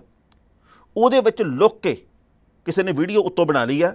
ਦੋ ਮੁੰਡੇ ਲੁੱਕ ਕੇ ਇੱਕ ਦੂਜੇ ਦੇ ਗੁਪਤ ਅੰਗ ਦੇ ਉੱਤੇ ਨਸ਼ੇ ਦੇ ਟੀਕੇ ਲਾ ਰਹੇ ਆ। ਇਹ ਸਾਡੇ ਪੰਜਾਬ ਦੀ ਜਵਾਨੀ ਦਾ ਹਾਲ ਆ। ਇਹਨੂੰ ਮੈਂ ਹੋਰ ਵਿਸਥਾਰ ਦੇ ਵਿੱਚ ਵੀ ਕਈ ਜਾਣਕਾਰੀਆਂ ਹੈਗੀਆਂ, ਸਾਂਝੀਆਂ ਕਰਨੀਆਂ ਬਣਦੀਆਂ ਸੀ। ਪਰ ਇੱਥੇ ਬੈਠ ਕੇ ਟੀਵੀ ਦੇ ਉੱਤੇ ਉਹ ਗੱਲ ਸਾਂਝੀ ਨਹੀਂ ਕਰਨੀ ਬਣਦੀ। ਪਰ ਜੇਕਰ ਸਾਡੇ ਪੰਜਾਬ ਦੀ ਜਵਾਨੀ ਆਪਣੇ ਅੰਦਰੂਨੀ ਅੰਗਾਂ ਦੇ ਉੱਤੇ ਟੀਕੇ ਲਾ ਲਾ ਕੇ ਆਪਣੀ ਜ਼ਿੰਦਗੀ ਬਚਾਉਣ ਦੀ ਕੋਸ਼ਿਸ਼ ਕਰਦੀ ਹੈ ਤਾਂ ਫਿਰ ਇਹ ਗੱਲਾਂ ਸਾਰੀਆਂ ਥੋਥੀਆਂ, ਇਹ ਸਾਰੀਆਂ ਗੱਲਾਂ ਬਕਵਾਸ ਆ ਵੀ ਪੰਜਾਬ ਦੇ ਵਿੱਚੋਂ ਨਸ਼ੇ ਮੁੱਕ ਰਹੇ ਹਨ। ਪੰਜਾਬ ਚੋਂ ਨਸ਼ੇ ਮੁਕਾ ਦਿੱਤੇ ਹਨ। ਜਵਾਨੀ ਸਿੱਧੇ ਰਾਹੇ ਪੈ ਰਹੀ ਹੈ। ਆ ਤੁਸੀਂ ਦੇਖੋ ਫਰੀਦਕੋਟ ਦੇ ਵਿੱਚ ਰੇਲ ਦੀ ਦੇ ਉੱਤੇ ਕਿਵੇਂ ਪੁੜੀਆਂ ਵੰਡਦਾ ਸੀ। ਜਿਵੇਂ ਪਕੌੜੀਆਂ ਵੰਡਦਾ ਹੁੰਦਾ ਜਿਵੇਂ ਰਿਉੜੀਆਂ ਵੰਡਦਾ ਹੁੰਦਾ। ਤੇ ਹੁਣ ਗੁਪਤ ਅੰਗਾਂ ਦੇ ਉੱਤੇ ਟੀਕੇ ਲਾਉਣ ਦੀ ਵੀਡੀਓ ਸਾਹਮਣੇ ਆਈ ਹੈ। ਸਰਕਾਰ ਨੂੰ ਬੇਨਤੀ ਹੈ ਵੀ ਇਹਦੇ ਬਾਰੇ ਕੁਝ ਨਾ ਕੁਝ ਸੋਚੇ ਜੀ। ਬਿਲਕੁਲ ਟਾਣਾ ਸਾਹਿਬ ਤੁਹਾਨੂੰ ਕੀ ਲੱਗਦਾ ਹੈ ਕਿ ਜਿਵੇਂ ਗੱਲਾਂ ਕੀਤੀਆਂ ਜਾ ਰਹੀਆਂ ਨੇ ਜਾਂ ਜੋ ਜੋ ਕੁਝ ਕਿਹਾ ਜਾ ਰਿਹਾ ਕਿ ਉਵੇਂ ਨਸ਼ਾ ਮੁੱਕ ਜੂਗਾ ਕੱਲ ਮੇਰੀ ਕੁਝ ਲੋਕਾਂ ਨਾਲ ਗੱਲਬਾਤ ਹੋਈ। ਤਾਂ ਮੈਨੂੰ ਜਿਹੜੀਆਂ ਉਹਨਾਂ ਨੇ ਗੱਲਾਂ ਕਹੀਆਂ, ਉਹ ਮੈਨੂੰ ਵਾਕਈ ਵਾਜਬ ਲੱਗੀਆਂ। ਉਹਨਾਂ ਦਾ ਕਹਿਣਾ ਇਹ ਸੀ ਕਿ ਨਸ਼ਾ ਇਦਾਂ ਨਹੀਂ ਮੁੱਕਣਾ।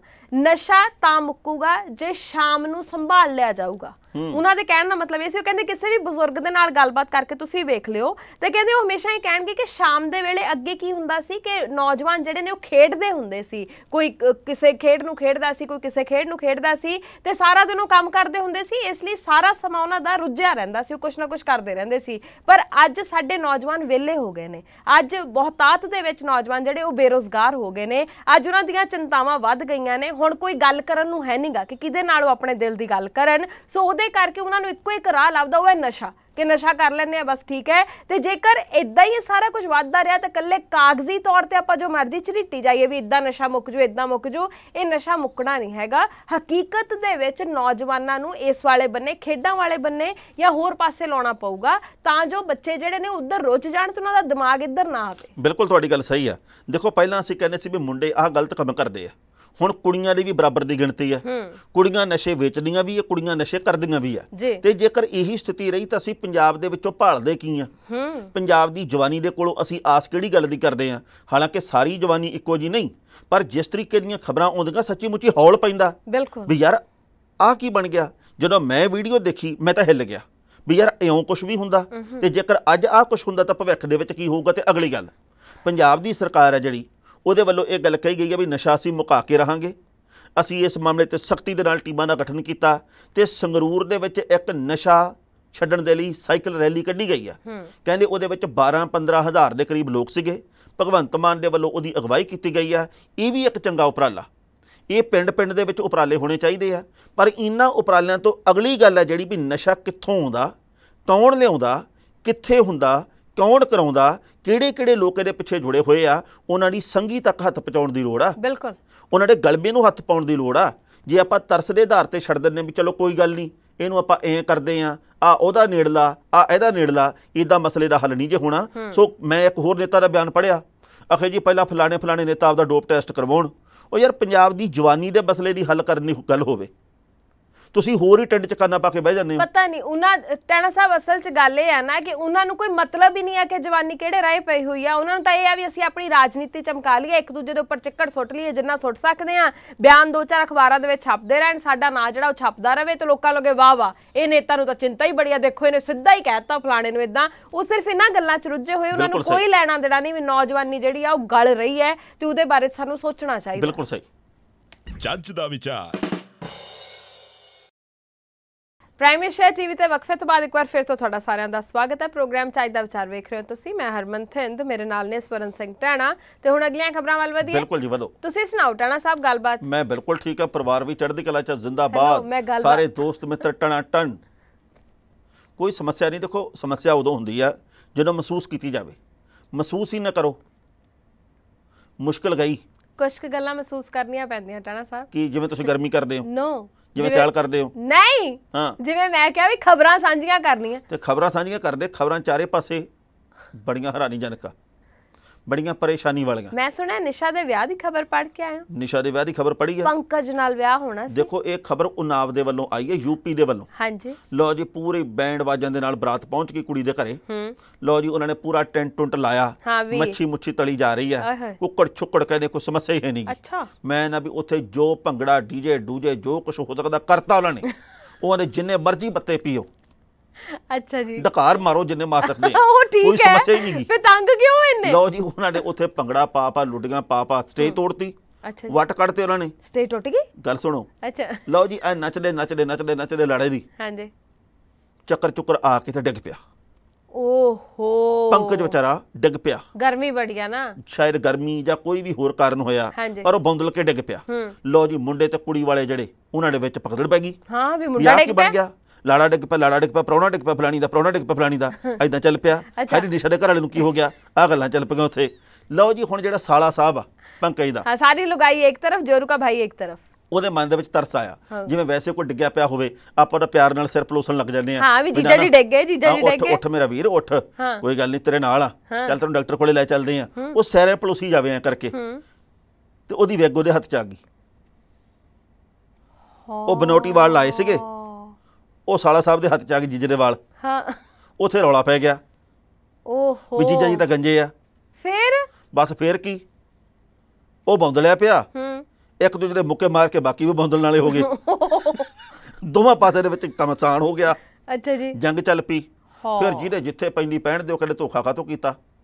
ਉਹ ਕਹਿੰਦੇ ਵੀ ਇਹ ਚ ਧੋਖੇ ਵਾਲੀ ਕਿਹੜੀ ਗੱਲ ਆ? ਕਹਿੰਦੇ ਹੈ ਹੀ ਇਹ ਧੋਖੇ ਵਾਲੀ। ਤੁਸੀਂ ਪਹਿਲਾਂ ਕਿਉਂ ਨਹੀਂ ਦੱਸਿਆ ਵੀ ਭਾਈ ਇਹਦੇ ਵਾਲ ਹੈ ਨਹੀਂ ਸਿਰ ਤੇ? ਰੌਲਾ ਪੈ ਗਿਆ। ਅੱਛਾ। ਵਿਆਹ ਹੋਇਆ ਹੀ ਨਹੀਂ। ਕਾਦਾ ਹੋਣਾ ਸੀ ਵਿਆਹ? ਜਦ ਕਸੋਨ ਡਾਕਟਰ ਕੋਲੇ ਲੈ ਜਾਓ ਇਹਨੂੰ। ਹਾਂ। ਤੇ ਦਵਾਈ ਦਵਾਓ ਇਹਨੂੰ ਤੇ ਘਰਾਂ ਨੂੰ ਲੈ ਜਾਓ। ਨਹੀਂ ਤੇ ਜਦ ਕਸੋਨ ਮੁੱਕੀ ਹੋ ਗਏ ਤਾਂ ਫੇਰ ਵਿਆਹ ਕਾਦਾ ਹੋਣਾ ਸੀ? ਉਹਨਾਂ ਨੇ ਤਾਂ ਸਾਰਿਆਂ ਦੇ ਵਾਲ ਪਟ-ਪਟ ਵੇਖੇ ਹੋਣੇ ਆ। ਇਹ ਕੋ ਗੱਲ ਆ? ਉਹਨਾਂ ਦੇ ਘਰੇ ਰਫੜ ਪੈ ਗਿਆ ਤੁਹਾਨੂੰ ਦੰਦ ਕੱਢਣ ਦੀ ਪਈ ਆ। ਉਹ ਨਹੀਂ ਟੈਣਾ। ਸਾਹਿਬ ਮੇਰੇ ਕਹਿਣ ਦਾ ਮਤਲਬ ਦੇਖੋ ਗੱਲ ਇਹ ਹੈ ਵੀ ਕਦੇ ਵੀ ਤੁਸੀਂ ਜਦੋਂ ਇੱਕ ਚੀਜ਼ਾਂ ਲੁਕਣ ਵਾਲੀਆਂ ਹੁੰਦੀਆਂ ਨੇ ਤੁਸੀਂ ਦੱਸੋ ਮੈਨੂੰ। ਕੱਲ ਨੂੰ ਜਦੋਂ ਵਿਆਹ ਹੋਣਾ ਸੀ ਜਦੋਂ ਉਹਨੇ ਵਿਗ ਦੁਬਾਰਾ ਲਾਉਣੀ ਸੀ ਤਾਂ ਫੇਰ ਨਹੀਂ ਪਤਾ ਲੱਗਣਾ ਸੀ ਵੀ ਉਹ ਉਹ ਗੰਜਾ ਬਾਅਦ ਦੇ ਵਿੱਚ ਨਾ ਗੱਲਾਂ ਹੋਰ ਹੋ ਜਾਂਦੀਆਂ। ਵੀ ਕੋਈ ਗੱਲ ਨਹੀਂ ਤੂੰ ਵਿਆਹ ਹੀ ਗਈਆਂ ਹੁਣ। ਹੁਣ ਆਉਂਦੀ ਭੈੜੀ ਲੱਗੇਗੀ। ਆ ਕੀ ਮਤਲਬ ਹੁਣ? ਛੱਡਦੀ ਭੈੜੀ ਲੱਗੇਗੀ। ਗੱਲ ਇਹ ਹੈ ਟੈਣਾ ਉਹ ਸਾਹਿਬ ਮੌਕੇ ਵੀ ਤੇ ਪਤਾ ਲੱਗ ਗਿਆ। ਕਿਸੇ ਵੀ ਬੰਦੇ ਦੇ ਵਿੱਚ ਕਮੀ ਹੋ ਸਕਦੀ ਹੈ ਇਹ ਕੋਈ ਬਹੁਤੀ ਵੱਡੀ ਗੱਲ ਨਹੀਂ ਆ ਪਰ ਜੇਕਰ ਕਿਸੇ ਦੇ ਵਿੱਚ ਕੋਈ ਵੀ ਕਮੀ ਆ ਤਾਂ ਉਹਨੂੰ ਪਹਿਲਾਂ ਸਾਫ਼-ਸਾਫ਼ ਦੱਸ ਦੇਣਾ ਚਾਹੀਦਾ ਵੀ ਦੇਖੋ ਜੀ ਆਹ ਗੱਲ ਹੈ ਜੇ ਤੁਹਾਨੂੰ ਮਨਜ਼ੂਰ ਹੈ ਤਾਂ ਵਿਆਹ ਹੋ ਜਾਊਗਾ ਨਹੀਂ ਮਨਜ਼ੂਰ ਤਾਂ ਠੀਕ ਆ ਤੁਸੀਂ ਕਿਸੇ ਦੇ ਨਾਲ ਇਦਾਂ ਝੂਠ ਤਾਂ ਨਹੀਂ ਬੋਲ ਸਕਦੇ ਕਿਹਨੇ ਹੱਕ ਦਿੱਤਾ ਕਿਸੇ ਨੂੰ ਝੂਠ ਪਹਿਲੀ ਬੋਲਣ ਦਾ? ਗੱਲ ਤਾਂ ਵੀ ਝੂਠ ਬੋਲਣਾ ਨਹੀਂ ਸੀ ਚਾਹੀਦਾ। ਦੂਜੀ ਗੱਲ ਜੇ ਬੋਲਿਆ ਤਾਂ ਇਹਨਾਂ ਨੱਚਣਾ ਨਹੀਂ ਸੀ ਚਾਹੀਦਾ। ਠੀਕ ਆ? ਚਲੋ ਉਹਨੂੰ ਲੁਕਾਉਣ ਦੇ ਲਈ ਕਈ ਕੁਝ ਛੱਡਣਾ ਪੈਣਾ। ਹਾਂ। ਨਾਚ ਗਾਣਾ ਛੱਡਣਾ ਪੈਣਾ ਸੀ। ਜੇ ਨੱਚਦੇ ਘੱਟ ਆਪਾਂ ਬੌਂਦਲ ਦੇ ਨਾ। ਜੇ ਬੌਂਦਲ ਦੇ ਨਾ ਆਪਾਂ ਡਿੱਗਦੇ ਨਾ ਜੇ ਡਿੱਗਦੇ ਨਾ ਤਾਂ ਫਿਰ ਸਾਲਾ ਸਾਹਿਬ ਸਿਰ ਨਾ ਪਲੋਸਦੇ ਜੇ ਸਿਰ ਨਾ ਪਲੋਸਦੇ ਆਪਣਾ ਸਮਾਨ ਹੱਥ ਚ ਨਾ ਆਉਂਦਾ ਵੇਗਾ ਜਿਹੜਾ ਸੋ ਇਸ ਕਰਕੇ ਇਹ ਸਾਰਾ ਕੁਝ ਇੱਕ ਦੂਜੇ ਨਾਲ ਜੁੜਿਆ ਹੋਇਆ। ਸੋ ਬਹੁਤ ਕੇਅਰਫੁਲੀ ਬਹੁਤ ਹੀ ਸੋਚ ਸਮਝ ਕੇ ਅਗਲਾ ਪੈਰ ਪੁੱਟਣ ਦੀ ਲੋੜ ਹੁੰਦੀ ਹੈ ਕੇਅਰਫੁਲੀ ਨਹੀਂ ਧਿਆਨ ਨਾਲ ਧਿਆਨ ਨਾਲ। ਸੋਚ ਸਮਝ ਕੇ ਹਾਂ ਗੱਲ ਇਹ ਹੈ ਕਿ ਟਾਣਾ ਸਾਹਿਬ ਇਹ ਸੱਚ ਹਮੇਸ਼ਾ ਸਾਹਮਣੇ ਆ ਹੀ ਜਾਂਦਾ ਹੈ। ਚਾਹੇ ਮਹੀਨੇ ਨੂੰ ਆਵੇ ਦੋਆਂ ਮਹੀਨਿਆਂ ਨੂੰ ਆਵੇ ਇੱਕ ਮਿੰਟ ਚ ਆ ਜਾਵੇ ਇਹ ਕੋਈ ਇਹ ਨਹੀਂ ਵੀ ਹਮੇਸ਼ਾ ਜਿਹੜਾ ਸੱਚ ਲੁਕਿਆ ਰਹੂਗਾ। ਸੋ ਇਸ ਲਈ ਝੂਠ ਬੋਲਣ ਤੋਂ ਪਹਿਲਾਂ 100 ਵਾਰ ਸੋਚੋ। ਜੋ ਵੀ ਗੱਲ ਹੈ ਜਿਵੇਂ ਵੀ ਹੈ ਖਾਸ ਤੌਰ ਤੇ ਵਿਆਹ ਸ਼ਾਦੀ ਦੇ ਮਾਮਲੇ 'ਚ ਤਾਂ ਵੈਸੇ ਵੀ ਖੁੱਲ ਕੇ ਇੱਕ ਦੂਜੇ ਨਾਲ ਗੱਲ ਕਰ ਲੈਣੀ ਚਾਹੀਦੀ ਹੈ। ਬਿਲਕੁਲ ਸਹੀ ਆ। ਜੱਜ ਦਾ ਵਿਚਾਰ। ਹਰਮਨ ਜੀ ਮੈਂ ਨਾ ਪਰਸੋਂ ਜਾਵਾਂ ਜਦੋਂ। ਤੇ ਮੇਰੇ ਮੋਹਰ ਦੀ ਨਾ ਮੋਟਰਸਾਈਕਲ ਵਾਲੇ ਤਿੰਨ ਜਣੇ ਹੂੰ। ਰਾਤ ਦਾ ਵੇਲਾ। ਤਿੰਨੇ ਜਾਣੇ ਐ ਜਾਣ ਕਰਦੇ ਐ ਐ ਕਰਕੇ ਐ। ਮਛਰੇ ਸੀਗੇ। ਲਾਣ ਜੀ ਪੀਤੀ ਹੋਣੀ ਦੋ ਦੋ ਘੁੱਟ। ਤੇ ਬੰਦੇ ਨੂੰ ਬੰਦਾ ਨਹੀਂ ਸੀ ਸਮਝਦੇ। ਤੇ ਮੇਰੇ ਮਨ ਦੇ ਵਿੱਚ ਇਹ ਗੱਲ ਆਈ ਜਾਵੇ ਮੈਂ ਕਿਹਾ ਯਾਰ ਵੀ ਇਹ ਲਾਣਤੀ ਕਿਸਮ ਦੇ ਬੰਦੇ ਜਿਹੜੇ ਜੇ ਮੰਨ ਲਓ ਡਿੱਗ ਪੈਣ ਤੇ ਇਹਨਾਂ ਨਾਲ ਬਣੂਗਾ ਕੀ? ਬਿਲਕੁਲ। ਇਹ ਹੋਛੇ ਲੋਕ ਆ ਜਿਹੜੇ ਜੇ ਮੰਨ ਲਓ ਕੋਈ ਨੁਕਸਾਨ ਹੋ ਗਿਆ ਇਹਨਾਂ ਨੇ ਤਾਂ ਪੈ ਜਾਣਾ ਮੰਜੇ ਤੇ ਤੇ ਟੱਬਰ ਇਹਨਾਂ ਫਾਹੇ ਚੜ ਜਾਣਾ। ਪੈਸੇ ਲੱਗਣੇ ਬਾਪੂ ਦੇ। ਇਹ ਤਾਂ ਮਸਟੰਡ ਪੁਣਾ ਕਰਦੇ ਆ ਕਦੇ ਐ ਨੂੰ ਯਕੀਨ ਮੰਨਿਓ ਐ ਚਲੇ ਜਾਣ ਐ ਚਲੇ ਜਾਣ ਐ ਚਲੇ ਜਾਣ ਐ ਚਲੇ ਜਾਣ ਐ ਐ ਕਰਦੇ ਜਾਣੇ ਤਿੰਨੇ ਜਾਣੇ। ਤੇ। ਚੀਕਾਂ ਮਾਰਨ ਦੰਦ ਕੱਢਣ ਮੈਂ ਕਿਹਾ ਵੀ ਇਹਨਾਂ ਨੂੰ ਨਵੀਂ ਜਵਾਨੀ ਚੜੀ ਆ। ਹਾਂਜੀ। ਇਹਨਾਂ ਨੂੰ ਕੋਈ ਪਰਵਾਹ ਹੀ ਨਹੀਂ। ਇਹਨੂੰ ਹੀਰੋਗਿਰੀ ਮੰਨਦੇ ਨੇ ਨਾ ਉਹ ਵੀ ਆ ਵੇਖੋ ਜੀ ਫਿਲਮਾਂ 'ਚ ਵੀ ਐਵੇਂ ਐਵੇਂ ਹੁੰਦਾ ਤੇ ਅਸੀਂ ਵੀ ਇਦਾਂ ਦਾ ਕਰ ਲਿਆ ਪਰ ਜਦੋਂ ਕਿਤੇ ਇਦਾਂ ਟਾਇਰ ਸਲਿੱਪ ਹੋ ਜਾਏ ਜਾਂ ਮੋਰੋ ਕੋ ਜਾ ਜਾਵੇ ਤਾਂ ਬੰਦਾ ਡਿੱਗਦਾ ਬਹੁਤ ਪੈਦਾ ਫਿਰ ਨਾ ਹੁੰਦਾ। ਅੱਗੋਂ ਉਹਨਾਂ ਦਾ ਇੱਕ ਦੋਸਤ ਸੀਗਾ ਕੋਈ। ਉਹਨਾਂ ਨੇ ਬ੍ਰੇਕ ਜੀ ਮਾਰੀ ਐਂ ਜੇ ਕਰਕੇ ਕੱਟ ਜਾਏ ਕਰਕੇ ਤੇ ਉਹਦੇ ਪੈਰਾਂ ਦੇ ਵਿੱਚ ਲਿਆ ਕੇ ਇੱਥੇ ਖੜਾ ਕੀਤਾ। ਐਂ ਮਾਰ ਕੇ ਨਾ ਪੂਰਾ ਟਾਇਰ ਘਸੀੜ ਦੇ ਗਏ ਉਹ। ਮੈਂ ਕਿਹਾ ਯਾਰ ਲੱਖ ਦੀ ਲਾਹਣ ਤੋਂ ਉਹਨੂੰ ਬਿਲਕੁਲ। ਵੀ ਜਿਹੜਾ ਇਹ ਚਲਾਉਂਦਾ ਤੇ ਲੱਖ ਦੀ ਲਾਹਣ ਤੋਂ ਉਹਨਾਂ ਨੂੰ ਜਿਹੜੇ ਦੋ ਜਣੇ ਮਗਰ ਬੈਠੇ ਆ। ਬਿਲਕੁਲ ਸਹੀ ਹੈ ਬਹੁਤ ਸਾਰੇ ਪੰਜਾਬ ਦੇ ਵਿੱਚ ਇਹੋ ਜਿਹੇ ਲੋਕ ਆ ਜਿਹੜੇ ਕਦੇ ਮੋਟਰਸਾਈਕਲ ਦੇ ਉੱਤੇ ਖੜ ਕੇ ਸਟੰਟ ਕਰਦੇ ਆ ਕਦੇ ਮੋਟਰਸਾਈਕਲ ਤੇ ਲੰਮਾ ਜਾ ਪੈ ਕੇ ਸਟੰਟ ਕਰਨਗੇ ਕਦੇ ਵਿੰਗੇ ਟੇਢੇ ਹੋ ਕੇ ਹੋਰ ਤਰੀਕੇ ਨਾਲ ਕਰਦੇ ਆ। ਬਈ ਆਪਦੀ ਜ਼ਿੰਦਗੀ ਦਾ ਬਚਾਅ ਰੱਖੋ ਇਹ ਫਿਲਮੀ ਜ਼ਿੰਦਗੀ ਨਹੀਂ ਰੀਅਲ ਲਾਈਫ ਤੇ ਰੀਅਲ ਲਾਈਫ ਦੇ ਵਿੱਚ ਜ਼ਮੀਨ ਅਸਮਾਨ ਦਾ ਅੰਤਰ ਬਿਲਕੁਲ। ਜੋ ਕੁਝ ਫਿਲਮਾਂ ਦੇ ਵਿੱਚ ਹੁੰਦਾ ਉੱਥੇ 3600 ਜਣਾ ਨਾਲ ਉਹਨਾਂ ਦੇ ਸੁਰੱਖਿਆ ਕਰਮਚਾਰੀ ਖੜੇ ਹੁੰਦੇ ਆ। ਹੂੰ। ਜੇ ਕੁਝ ਹੋ ਗਿਆ ਤੁਰੰਤ ਉਹਨਾਂ ਨੂੰ ਲੈ ਕੇ ਜਾਂਦੇ ਆ। ਹੂੰ। ਲਾਈਫ ਜੈਕਟ ਜਿਹਨੂੰ ਕਹਿੰਦੇ ਆ ਉਹਨਾਂ ਦੇ ਪਾਈ ਹੁੰਦੀ ਹੈ ਜਦੋਂ ਮੋਟਰਸਾਈਕਲ ਤੇ ਇਹੋ ਜੀ ਗੱਲ ਕਰਦੇ ਆ। ਤੇ ਆਪਣੇ ਕੋਲੇ ਕੀ ਹੁੰਦਾ ਗੋਡੇ ਵੀ ਨੰਗੇ ਹੁੰਦੇ ਆ। ਜੀ ਬਿਲਕੁਲ ਜੈਕੀ ਚੇਨ ਬਣੇ ਫਿਰਨਗੇ। ਗੱਲ ਸਹੀ ਹੈ ਤੁਹਾਡੀ ਟਾਣਾ ਸਾਹਿਬ, ਪਰ ਜਦ ਉਹਨਾਂ ਨੂੰ ਆਪਣੀ ਜ਼ਿੰਦਗੀ ਦੀ ਕੀਮਤ ਦਾ ਨਹੀਂ ਪਤਾ, ਤਾਂ ਕੋਈ ਕੀ ਕਹਿ ਲਊਗਾ? ਦੇਖੋ, ਆਪ ਤਾਂ ਉਹਨਾਂ ਨੇ 60 ਫੇਟ ਖਾਣੀ ਹੁੰਦੀ ਹੈ। ਜਿਹੜਾ ਵਿਚਾਰਾ ਕੋਈ ਸਿੱਧਾ ਆ ਰਿਹਾ ਹੁੰਦਾ, ਉਹਦੇ ਵਿੱਚ ਐਵੇਂ ਹੀ ਵੱਜ ਜਾਣਗੇ, ਉਹਨੇ ਵਿਚਾਰੇ ਨੇ ਵੱਖਰੀ ਸੱਟ ਖਾ ਲੈਣੀ ਹੁੰਦੀ ਹੈ। ਸੋ ਗੱਲ ਇਹ ਹੈ ਕਿ ਇਹ ਤਾਂ ਇੱਥੇ ਜੇ ਇੱਥੇ ਅਕਲ ਹੈ ਨਹੀਂ ਤਾਂ ਕੋਈ ਕੀ ਕਰ ਹੁਣ ਲਊਗਾ? ਤਾਂ ਇਹ ਵੀ ਨਹੀਂ ਕਹਿ ਸਕਦੇ ਵੀ ਇੱਥੇ ਤੂੜੀ ਭਰੀ ਆ ਤੂੜੀ ਵੀ 1000 ਰੁਪਏ ਨੂੰ ਕੁਇੰਟਲ ਆ। ਬਿਲਕੁਲ। ਪਹਿਲਾਂ ਉਹ ਹੁੰਦੀ ਸੀ ਵੀ ਇਸ ਰੁੱਤ ਦੇ ਵਿੱਚ ਇਹਨਾਂ। ਮਹੀਨਿਆਂ ਦੇ ਵਿੱਚ 2.5 300 ਨੂੰ ਕੁਇੰਟਲ।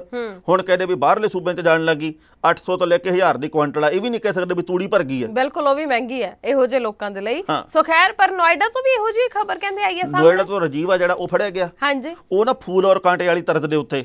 ਫੂਲ ਔਰ ਕਾਂਟੇ ਦੇ ਵਿੱਚ ਨਹੀਂ ਸੀ ਇੱਕ ਲੱਤ ਇਧਰ ਤੇ ਇੱਕ ਲੱਤ ਇਧਰ ਮੋਟਰਸਾਈਕਲਾਂ ਦੇ ਉੱਤੇ ਆਉਂਦਾ ਸੀਗਾ ਅਜੇ ਦੇਵਗਨ। ਉਵੇਂ ਕਾਰਾਂ ਦੋ ਬਰਾਬਰ ਚੱਲਦੀਆਂ। ਇੱਕ ਲੱਤ ਇਧਰ ਤੇ ਇੱਕ ਲੱਤ ਇਧਰ ਰੱਖ ਕੇ ਤੇ ਐਂ ਆਉਂਦਾ ਹੁੜ ਹੁੜ ਦਬੰਗ ਕਰਦਾ। ਨਹੀਂ ਨਹੀਂ ਹੁਣੇ ਤਾਂ ਫੂਲ ਔਰ ਕਾਂਟੇ ਸੀ। ਸਾਰੇ ਇਕੱਠੇ ਆ ਨਾ ਇਹ। ਇਹ ਫਿਲਮਾਂ ਵਾਲੀਆਂ ਗੱਲਾਂ ਸਮਝਿਆ ਕਰੋ। ਨਹੀਂ ਨਹੀਂ ਪਰ ਫੂਲ ਔਰ ਕਾਂਟੇ ਚ ਅਜੇ ਫੂਲ ਔਰ ਵਾਲਾ ਅਜੇ ਦੇਵਗਨ ਮੂੰਹ ਦੇ ਨਾਲ ਜੋ ਮਰਜ਼ੀ ਬੋਲੇ। ਅੱਛਾ ਜੀ। ਮੂੰਹ ਦੇ ਨਾਲ ਭਾਵੇਂ ਅਮਿਤਾਭ ਬੱਚਨ ਬਣ ਕੇ ਆਵੇ ਤੁਹਾਨੂੰ ਕੀ? ਨਹੀਂ ਨਹੀਂ ਨਹੀਂ ਪਰ ਗਲ- ਗਲਤ ਗਲਤ ਗਲਤ ਆ ਨਾ। ਗਲਤ ਤਾਂ ਗਲਤ ਹੈ ਟੈਣਾ ਇੱਕ ਲੱਤ ਇਧਰ ਇੱਕ। ਪੈਰ ਇਧਰ। ਹੂੰ। ਤੇ ਪੁਲਿਸ ਨੇ ਫੜ ਲਿਆ। ਉਹ ਕਹਿੰਦੇ ਆਜੋ ਤੁਹਾਨੂੰ ਅਜੇ ਦੇਵਗਨ ਬਣਾਉਣੇ ਆ ਚੰਗੀ ਗੱਲ ਹੈ। ਫੜ ਕੇ ਨਾ ਇਹਨਾਂ ਦੇ ਉੱਪਰ ਜ਼ਰੂਰ ਰਿਪੋਰਟ ਹੋਣੀ ਚਾਹੀਦੀ ਹੈ। ਦੋਵੇਂ ਗੱਡੀਆਂ ਜ਼ਬਤ ਕਰ ਲਈਆਂ ਪੁਲਿਸ ਨੇ ਤੇ ਰਜੀਵ ਨੂੰ ਵੀ ਫੜ ਲਿਆ। ਕਹਿੰਦੇ ਵੀ ਆਜੋ ਤੁਹਾਨੂੰ ਬਣਾਉਣੇ ਜੈਕੀ ਚੇਨ। ਨਾਲੇ ਬਣਾਉਣੇ ਅਜੇ ਦੇਵਗਨ ਨਾਲੇ ਤੂੰ ਜੋ ਜੋ ਕੁਝ ਚਾਹੁੰਦਾ ਤੈਨੂੰ ਕਰਦੇ ਆਪਾਂ। ਹਾਂ ਤੈਨੂੰ ਜ਼ਿੰਦਗੀ 'ਚ ਕੁਝ ਬਣਾ ਕੇ ਹੀ ਛੱਡਾਂਗੇ। ਹਾਂ।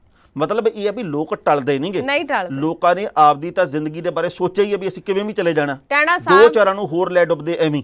ਤੁਸੀਂ ਇਹ ਵੇਖੋ ਕਹਿਣਾ ਨਹੀਂ ਚਾਹੀਦਾ ਪਰ ਮੈਨੂੰ ਇਹ ਲੱਗਦਾ ਕਿ ਸਾਡੇ ਮੁਲਕ 'ਚ ਨਾ 60 ਤੋਂ 70% ਫੀਸਦੀ ਲੋਕਾਂ ਨੂੰ ਇਹ ਨਹੀਂ ਪਤਾ ਕਿ ਇੰਡੀਕੇਟਰ ਨਾਂ ਦੀ ਵੀ ਕੋਈ ਚੀਜ਼ ਹੁੰਦੀ ਹੈ ਤੇ ਉਹਦਾ ਮਤਲਬ ਕੀ ਹੁੰਦਾ ਹੈ। ਮੁੜਦੇ ਐ ਨੂੰ ਜਗਦਾ ਐ ਇਧਰਲਾ ਹੁੰਦਾ। ਬਿਲਕੁਲ ਸਹੀ ਹੈ ਤੇ ਜਾਂ ਫਿਰ ਮੁੜਨ ਮੁੜਨ ਲੱਗਿਆ ਇੰਡੀਕੇਟਰ ਚਲਾਉਂਦੇ ਹੀ ਨਹੀਂ ਹੈਗੇ ਉਹ ਹਨਾ? ਸਾਡੇ ਮੁਲਕ ਦੇ ਵਿੱਚ ਬਹੁਤੇ ਲੋਕਾਂ ਨੂੰ ਇਹ ਨਹੀਂ ਪਤਾ ਵੀ ਗੱਡੀ ਜਿਹੜੀ ਉਹ ਪਾਰਕ ਕਿੱਥੇ ਕਰਨੀ ਹੈ। ਮੈਂ ਹੈਰਾਨ ਹੁੰਨੀ ਆ ਇੰਨੀਆਂ ਮਹਿੰਗੀਆਂ ਮਹਿੰਗੀਆਂ ਇੰਨੀਆਂ ਵੱਡੀਆਂ ਵੱਡੀਆਂ ਗੱਡੀਆਂ ਲੈ ਆਉਣਗੇ ਤੇ ਉੱਥੇ ਪਾਰਕ ਕਰਨਗੇ ਜਿੱਥੋਂ ਗੱਡੀ ਦੂਸਰੀ ਨਿਕਲਣ ਦੀ ਥਾਂ ਹੁੰਦੀ ਹੈ ਜਿੱਥੋਂ ਦੂਸਰਾ ਦੋ ਪਹੀਆ ਵਾਹਨ ਨਿਕਲਣ ਦੀ ਥਾਂ ਹੁੰਦੀ ਹੈ। ਉਹਨਾਂ ਨੂੰ ਅੱਜ ਤੇ ਇਹੀ ਨਹੀਂ ਸਮਝ ਆਈ ਵੀ ਗੱਡੀ ਕਿੱਥੇ ਪਾਰਕ ਕਰਨੀ ਹੈ ਕਿਵੇਂ ਲੈ ਕੇ ਜਾਣੀ ਹੈ ਸੜਕ ਤੇ ਕਿੰਨੀ ਸਪੀਡ ਤੇ ਹੋਣੀ ਚਾਹੀਦੀ ਹੈ ਕਿਵੇਂ ਓਵਰਟੇਕ ਕਰਨਾ ਹੈ ਇੰਡੀਕੇਟਰ ਵੀ ਚਲਾਉਣਾ ਹੈ। ਬਹੁਤਿਆਂ ਨੂੰ ਤਾਂ ਹਾਈ ਬੀਮ ਲੋ ਬੀਮ ਦਾ ਫ਼ਰਕ ਹੀ ਨਹੀਂ ਪਤਾ। ਸਹੀ ਗੱਲ ਅੱਧੀ ਰਾਤ ਨੂੰ ਹਾਈ ਬੀਮ ਕਰਕੇ ਅਗਲੇ ਦੀਆਂ ਅੱਖਾਂ 'ਚ ਮਾਰ-ਮਾਰ ਕੇ ਲਾਈਟਾਂ ਦਾ ਬੁਰਾ ਹਾਲ ਕਰ ਦਿੰਦੇ ਆ। ਹੂੰ। ਦੁੱਖ ਹੁੰਦਾ। ਜੀ ਪਤਾ ਨਹੀਂ ਕਦੋਂ ਸਿੱਖਣਗੇ। ਜਿਹਨੂੰ ਹੁਣ ਤੱਕ ਨਹੀਂ ਆਈ ਹੂੰ। ਤਾਂ ਕੰਮ ਔਖਾ ਹੀ। ਪਰ ਇਹ ਜਿੰਨੇ ਗਲਤੀਆਂ ਕਰਦੇ ਸਾਰਿਆਂ ਦੀਆਂ ਗੱਡੀਆਂ ਜ਼ਬਤ ਹੋਣੀਆਂ ਚਾਹੀਦੀਆਂ। ਹੋਣਗਾ ਵੀ ਚਾਹੀਦੀਆਂ ਮੋਟੇ ਹੋਣੇ ਚਾਹੀਦੇ ਜੁਰਮਾਨੇ। ਜੀ। ਘੱਟੋ ਘੱਟ 10000 ਰੁਪਏ ਜੁਰਮਾਨਾ ਹੋਇਆ ਹੋਵੇ ਨਾ। ਇਹੋ ਜੀ ਕਰਤੂਤ ਕਰਨ ਵਾਲੇ ਨੂੰ। ਤੇ ਜ਼ਿੰਦਗੀ ਦੇ ਵਿੱਚ ਉਹ ਸੋਚੂਗਾ ਵੀ ਭਾਈ ਮੈਂ ਇਦਾਂ ਕਰਾਂ ਕਿ ਨਾ ਕਰਾਂ। ਜੀ ਬਿਲਕੁਲ ਪਰ ਇਹ ਥੋੜੀ ਜੀ ਗੱਲ ਹੁੰਦੀ ਆ ਇਧਰਲੇ ਪਾਸੇ ਪੁਲਿਸ ਨੂੰ ਇਹਨੇ ਖਵਾਤਾ ਇਧਰਲੇ ਪਾਸੇ ਇਹਨੇ ਖਵਾਤਾ ਤੇ ਗੱਲ ਖਤਮ ਹੋ ਜਾਂਦੀ ਹੈ ਜੱਜ ਦਾ ਵਿਚਾਰ। ਹਰਮਨ ਜੀ ਬਹੁਤ ਦੁਖਦਾਈ ਇੱਕ ਖਬਰ ਜਿਹੜੀ ਆ। ਉਹ ਸਾਹਮਣੇ ਆਈ ਆ। ਰਿਤਕ ਦੀ ਮੌਤ ਦੀ। ਜੀ। 6 ਸਾਲਾ ਉਹ ਬੱਚਾ ਜਿਹਨੇ ਜ਼ਿੰਦਗੀ ਦੇ ਵਿੱਚ ਪਤਾ ਨਹੀਂ ਕੀ ਬਣ ਕੇ ਦਿਖਾਉਣਾ ਸੀ ਪਤਾ ਨਹੀਂ ਜਿਹਨੇ ਮਾਪਿਆਂ ਨੂੰ ਕਿੰਨਾ ਕੁ ਸੁੱਖ ਦੇਣਾ ਸੀ ਪਤਾ ਨਹੀਂ ਸਮਾਜ ਦੇ ਲਈ ਕਿੰਨਾ ਕੁ ਵੱਡਾ ਕੰਮ ਕਰਨਾ ਹੋਊਗਾ ਹਰ ਬੱਚੇ ਤੋਂ ਅਸੀਂ ਆਸ ਕਰਦੇ ਹਾਂ। ਵੀ ਇਹ ਭਵਿੱਖ ਦਾ ਵਾਰਸ ਆ ਇਹ ਭਵਿੱਖ ਦੇ ਵਿੱਚ ਕੁਝ ਕਰ ਦਿਖਾਊ ਪਰ ਸਾਡੇ ਸਿਸਟਮ ਸਾਡੇ ਮਾੜੇ ਪ੍ਰਬੰਧਾਂ ਨੇ ਲੋਕਾਂ ਦੀਆਂ ਅਣਗਹਿਲੀਆਂ ਨੇ ਤੇ ਸਰਕਾਰੀ ਤੰਤਰ ਦੇ ਫੇਲੂਅਰ ਨੇ। ਕਿਉਂਕਿ ਸਰਕਾਰੀ ਤੰਤਰ ਵੀ ਫੇਲ ਹੋ ਗਿਆ ਇਸ ਮਾਮਲੇ 'ਚ। ਉਹਦੇ ਕਰਕੇ 6 ਸਾਲ ਦਾ ਇੱਕ ਬੱਚਾ ਜਿਹੜਾ ਰਿਤਕ ਆ ਉਹਦੀ ਮੌਤ ਹੋ ਗਈ ਹੈ ਬੋਰਵੈਲ ਦੇ ਵਿੱਚ ਡਿੱਗਣ ਦੇ ਕਰਕੇ। ਜੀ। ਇਹ ਪਹਿਲੀ ਖਬਰ ਨਹੀਂ ਆਈ। ਇਸ ਤੋਂ ਪਹਿਲਾਂ ਫਤਿਹਵੀਰ ਦੀ ਵੀ ਇਵੇਂ ਆਈ ਸੀ। ਜੀ। ਹੁਣ ਰਿਤਕ ਦੀ ਵੀ ਉਵੇਂ ਆਈ ਆ। ਤੇ ਹੁਣ ਤੁਸੀਂ ਗੌਰ ਨਾਲ ਸੁਣਿਓ ਵੀ ਇਸ ਬੱਚੇ ਦੀ ਮੌਤ ਕਿਉਂ ਹੋਈ ਆ। ਅਸੀਂ ਸਾਰੇ ਕਹਿੰਦੇ ਵੀ ਬੋਰਵੈਲ ਦੇ ਵਿੱਚ ਡਿੱਗਣ ਦੇ ਕਰਕੇ ਹੋਈ ਆ। ਪਰ ਉਹ ਬੋਰਵੈਲ ਦੇ ਵਿੱਚ ਡਿੱਗਿਆ ਕਿਉਂ? ਪਹਿਲਾਂ ਇਹਦੇ ਵੱਲ ਗੌਰ ਕਰੋ। ਬਿਲਕੁਲ। ਪੰਜਾਬ ਦੇ ਵਿੱਚ ਕੋਈ ਹਫਤਾ ਇਹੋ ਜਿਹਾ ਹੈ ਜਦੋਂ ਕੁੱਤੇ ਨੇ ਕਿਸੇ ਨੂੰ ਨਾ ਖਾਦਾ ਹੋਵੇ ਨਹੀਂ ਸ਼ਾਇਦ। ਕਦੇ ਕਦੇ ਇਉਂ ਲੱਗਦਾ ਵੀ ਕੁੱਤੇ ਵੱਧ ਰਹਿੰਦੇ ਇੱਥੇ ਤੇ ਬੰਦੇ ਇੱਥੇ ਘਟ ਰਹਿੰਦੇ ਆ ਮੁਹੱਲਿਆਂ ਦੇ ਵਿੱਚ ਨਿਕਲਣਾ ਔਖਾ ਹੋ ਗਿਆ। ਪਿੰਡਾਂ ਸ਼ਹਿਰਾਂ ਕਸਬਿਆਂ ਦੇ ਵਿੱਚ ਬਾਹਰ ਨਿਕਲਣਾ ਔਖਾ ਹੋ ਗਿਆ ਕਿਉਂਕਿ ਕੁੱਤੇ ਇੰਨੀ ਵੱਡੀ ਗਿਣਤੀ ਦੇ ਵਿੱਚ ਫਿਰਦੇ ਆ। ਇਹ ਜਿਹੜਾ ਰਿਤਕ ਨਾਂ ਦਾ ਬੱਚਾ ਇਹਦੇ ਮਗਰ ਕੁੱਤੇ ਪੈ ਗਏ। ਹੂੰ। ਅਵਾਰਾ ਕੁੱਤੇ ਪੈ ਗਏ ਜਿਹਦੇ ਕਰਕੇ ਮੂਹਰੇ ਭੱਜਿਆ। ਹੂੰ। ਅੱਗੇ ਬੋਰਵੈਲ ਸੀ। ਬੋਰਵੈਲ ਦੇ ਉੱਤੇ ਪਾਈਪ ਦੇ ਉੱਤੇ ਚੜ ਗਿਆ। ਤੇ ਇਹ ਸਿਰ ਭਾਰ ਉਹਦੇ ਵਿੱਚ ਡਿੱਗ ਪਿਆ। ਜੀ। ਕਿਤੇ ਅਵਾਰਾ ਕੁੱਤੇ ਹੀ ਨਾ ਹੁੰਦੇ ਤਾਂ ਇਸ ਬੱਚੇ ਨੂੰ ਮੂਹਰੇ ਭੱਜਣਾ ਨਹੀਂ ਸੀ ਪੈਣਾ। ਨਾ ਭੱਜਦਾ ਤਾਂ ਇਹ ਬੋਰਵੈਲ ਦੇ ਵਿੱਚ ਡਿੱਗਦਾ ਹੀ ਨਾ। ਇਹ ਸਿਰ ਭਰ ਡਿੱਗਿਆ ਸਿਰ ਥੱਲੇ ਨੂੰ ਲੱਤਾਂ ਉੱਪਰ ਨੂੰ। 8 ਘੰਟੇ ਬਾਅਦ ਇਸ ਬੱਚੇ ਨੂੰ ਬਾਹਰ ਕੱਢਿਆ ਗਿਆ। ਕੋਸ਼ਿਸ਼ਾਂ ਬਹੁਤ ਕੀਤੀਆਂ ਐਨਡੀਆਰਐਫ ਦੀ ਟੀਮ ਨੇ ਫੌਜੀ ਵੀਰਾਂ ਨੇ ਆਲੇ ਦੁਆਲੇ ਦੇ ਲੋਕਾਂ ਨੇ ਸਾਰੇ ਲੋਕਾਂ ਨੇ ਪੁਲਿਸ ਵਾਲਿਆਂ ਨੇ ਬਹੁਤ ਮਿਹਨਤ ਕੀਤੀ ਪਰ ਇਸ ਬੱਚੇ ਨੂੰ ਬਚਾਇਆ ਨਹੀਂ ਜਾ ਸਕਿਆ। ਮਤਲਬ ਕਹਿਣ ਦਾ ਇਹ ਆ ਵੀ ਇੱਕ ਤਾਂ ਉਹ ਲੋਕ ਸਭ ਤੋਂ ਵੱਡੇ ਕਸੂਰਵਾਰ ਆ। ਜਿਹੜੇ ਕਿ ਬੋਰਵੈਲ ਨੂੰ ਇਦਾਂ ਛੱਡ ਦਿੰਦੇ ਆ। ਪਤਾ ਨਹੀਂ ਕਿਉਂ। ਬੋਰਵੈਲ ਕਰਕੇ ਉੱਤੇ ਇੱਕ ਬੋਰੀ ਰੱਖ ਦੇਣਗੇ। ਕੱਲੀ ਵੀ ਲਾਂਟਿਓ ਇਹ ਬੋਰੀ ਰੱਖਣ ਦੇ ਨਾਲ ਕੀ ਫ਼ਰਕ ਪੈਂਦਾ? ਆ ਵੀ ਤੁਸੀਂ ਕੋਈ ਉੱਡੀ ਸਲੈਬ ਕੋਈ ਪੱਥਰ ਕੋਈ ਹੋਰ ਚੀਜ਼ ਉਹਦੇ ਉੱਤੇ ਰੱਖ ਦਿਓ ਉਹਨੂੰ ਢੱਕ ਦਿਓ ਉਹਦਾ ਢੱਕਣ ਬਣਾ ਦਿਓ ਕਿ ਤਾਂ ਜੋ ਜਿਹੜੇ ਲੋਕ ਤੁਸੀਂ ਵੇਖੋ ਇਹ ਅਬ ਜਿਵੇਂ ਤੁਸੀਂ ਕਿਹਾ ਵੀ ਇਹ ਕੋਈ ਪਹਿਲੀ ਘਟਨਾ ਥੋੜੀ ਸੀ ਇਸ ਤੋਂ ਪਹਿਲਾਂ ਤੁਹਾਨੂੰ ਯਾਦ ਹੋਊਗਾ ਇੱਕ ਪ੍ਰਿੰਸ ਨਾਂ ਦਾ ਮੁੰਡਾ ਉਹ ਵੀ ਬੋਰਵੈਲ ਦੇ। ਵਿੱਚ ਡਿੱਗਿਆ ਸੀ। ਉਸ ਤੋਂ ਬਾਅਦ ਇਹ ਘਟਨਾਵਾਂ ਕਿੰਨੀਆਂ ਹੀ ਇਹੋ ਜਿਹੀਆਂ ਵਾਪਰੀਆਂ। ਅਸੀਂ ਪਤਾ ਨਹੀਂ ਕਿਉਂ ਕਿਸੇ ਇਹਨਾਂ ਲੋਕਾਂ ਦੇ ਉੱਤੇ ਸਖਤ ਪਰਚੇ ਦਰਜ ਹੋਣੇ ਚਾਹੀਦੇ ਆ। ਜੇਕਰ ਦੋਆਂ ਤਿੰਨਾਂ ਚਾਰਾਂ ਦੇ ਉੱਤੇ ਇਦਾਂ ਦੇ ਪਰਚੇ ਹੋਣਗੇ ਲੋਕਾਂ ਨੂੰ ਤਾਂ ਅਕਲ ਆਊਗੀ। ਨਹੀਂ ਤਾਂ ਲੋਕ ਖੇਤਾਂ ਦੇ ਵਿੱਚ ਘਰਾਂ ਦੇ ਵਿੱਚ ਇਸੇ ਤਰੀਕੇ ਨਾਲ ਹੀ ਕਰਦੇ ਆ। ਉਹਨਾਂ ਨੂੰ ਕੋਈ ਪਰਵਾਹ ਨਹੀਂ ਵੀ ਕਿਸੇ ਦੀ ਜ਼ਿੰਦਗੀ ਵੀ ਜਾ ਸਕਦੀ ਹੈ ਬਾਅਦ ਦੇ ਵਿੱਚ ਕਹਿਣਗੇ ਮਹਾਰਾਜ ਨੇ ਇਹ ਲਿਖਿਆ ਸੀ। ਤੇ ਮਹਾਰਾਜ ਕੀ ਕਰੂਗਾ ਜਦੋਂ ਕਰਤੂਤ ਤਾਂ ਸਾਡੀ ਆਪਦੀ ਐ ਸੀ। ਦੂਜੀ ਗੱਲ ਸਰਕਾਰ ਨੂੰ ਬੇਨਤੀ ਇਹ ਆ ਵੀ ਹੁਣ ਤਾਂ ਤੁਹਾਡੇ ਸਾਹਮਣੇ ਜਿਉਂਦੇ ਬੱਚੇ ਖਾਦੇ ਜਾਂਦੇ ਕੁੱਤਿਆਂ ਦੇ ਵੱਲੋਂ। ਹੁਣ ਤਾਂ ਤੁਹਾਡੇ ਸਾਹਮਣੇ ਬੱਚੇ ਬੋਰਵੈਲ ਦੇ ਵਿੱਚ ਡਿੱਗ ਪੈਂਦੇ ਆ। ਵੀ ਯਾਰ ਬਾਕੀ ਤਾਂ ਆਪਾਂ ਕਹਿੰਦੇ ਵੀ ਗਲਤ ਅਨਸਰਾਂ ਨੂੰ ਨੱਥ ਪਾਵਾਂਗੇ। ਪਹਿਲਾਂ ਕੁੱਤੇ ਤਾਂ ਖਤਮ ਕਰ ਲਈਏ।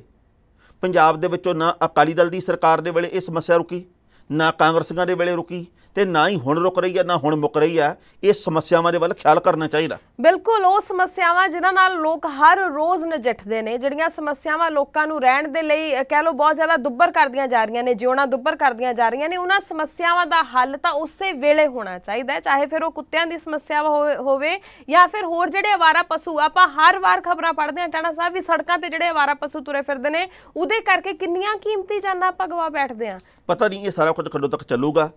ਪਰ ਰਿਤਕ ਦੇ ਪਰਿਵਾਰਕ ਮੈਂਬਰਾਂ ਨਾਲ ਸਾਡੀ ਹਮਦਰਦੀ ਵੀ ਹੈ। ਪੰਜਾਬ ਸਰਕਾਰ ਨੇ 2 ਲੱਖ ਰੁਪਏ ਦੇਣ ਦਾ ਐਲਾਨ ਵੀ ਕੀਤਾ ਪਰ ਭਵਿੱਖ ਦੇ ਵਿੱਚ ਕੋਈ ਹੋਰ ਫਤਿਹਵੀਰ ਨਾ ਬਣੇ। ਕੋਈ ਹੋਰ ਇਹਦਾ ਰਿਤਕ ਵਾਲੀ ਸਥਿਤੀ ਨਾ ਪੈਦਾ ਹੋਵੇ ਇਹਦੇ ਕਰਕੇ ਸਰਕਾਰਾਂ ਨੂੰ ਤੇ ਲੋਕਾਂ ਨੂੰ ਅਕਲ ਤੋਂ ਕੰਮ ਲੈਣਾ ਪਊਗਾ। ਬਿਲਕੁਲ ਸਹੀ। ਲੋਕ ਆ ਜਿਹੜੇ ਉਹ ਸਮਝਣ ਕਿ ਅਸੀਂ ਕਾਤਲ ਨਹੀਂ ਆ। ਲੋਕ ਇਹ ਸਮਝਣ ਕਿ ਅਸੀਂ ਕਾਤਲ ਨਹੀਂ ਬਣਨਾ।